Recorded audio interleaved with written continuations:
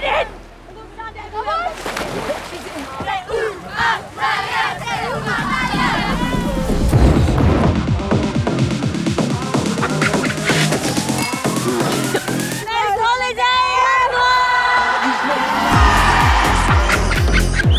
What's your name?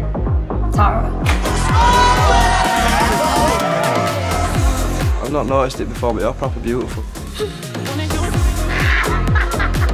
You two are actually my best mates. Gang, gang, gang. No one cares if you're a virgin. It's very chill. So why are you bringing it up then? Hey, we're gonna play a game.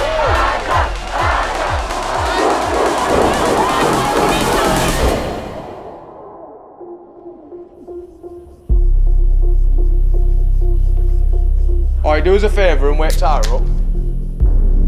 And she yours?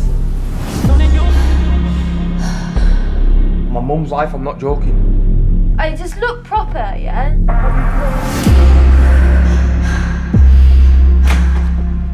Where have you been?